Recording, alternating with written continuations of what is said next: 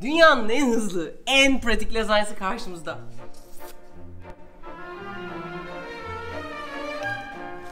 Trendyol hızlı marketten aldıklarımla yapıyorum bu lazanyayı. Çok güzel. Kıymamı soğanla kavuruyorum. Bir kaşık tereyağı, iki pakette domates püresi ekliyorum.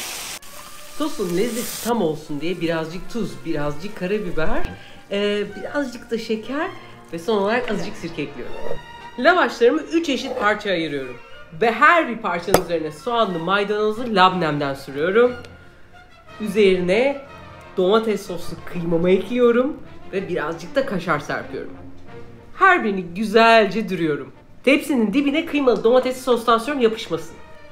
Her birini yerleştiriyorum. Üzerine tekrar kıymalı sos ve biraz daha kaşar koyuyorum. Hadi fırınım 200 derece alt üst. 20 dakikada oh üstüne maydanoz ve güzel dilimler bizle.